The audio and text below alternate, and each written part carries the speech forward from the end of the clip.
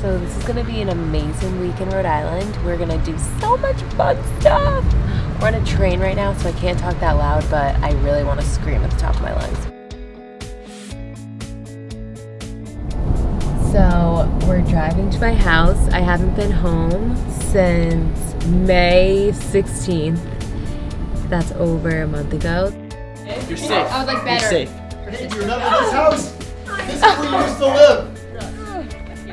Twister! Twister! Josh, no, you don't have anything that's graceful. This is.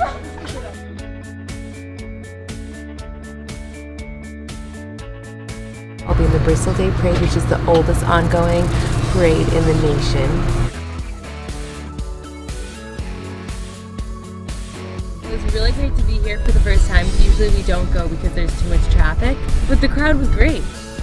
Miss USA Olivia Culpo in studio with us.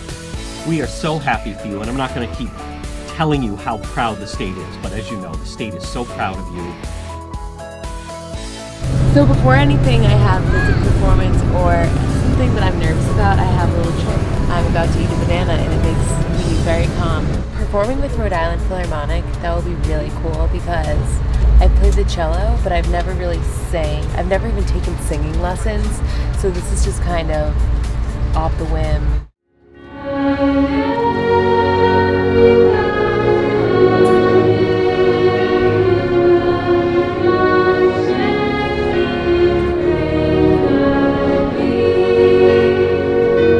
Great job singing. Did you notice I messed up the lyrics? No.